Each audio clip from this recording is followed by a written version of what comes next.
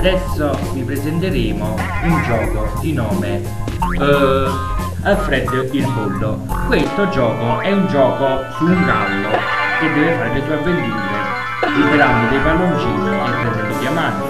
Questi diamanti si trovano nascosti ovunque. Ci sono bombe che ruotano nei, nei circolari passaggi, ci sono cubi da rompere che danno cose speciali e ci sono diversi cubi che possono essere attivati premendo dei pulsanti rossi e facendo apparire una stella in mezzo a un rombo giallo.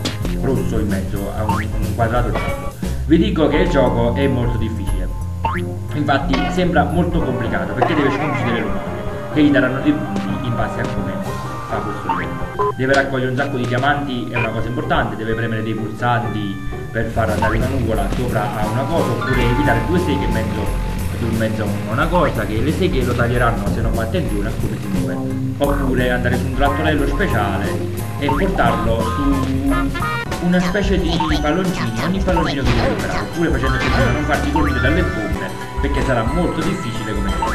Vi dicevo che come gioco ha una bellissima grafica un bel, un bel sottofondo di musica eh, un una bellissima grafica un bellissimo sfondo che ha inoltre al gioco come viene comunque vi dicevo che i livelli anche se sembrano belli con lo sfondo è molto difficile fare il gioco perché quello che dovete fare è dovete liberare palloncini. Dovete raccogliere diamanti e dovete fare le cose più impossibili che dovete fare.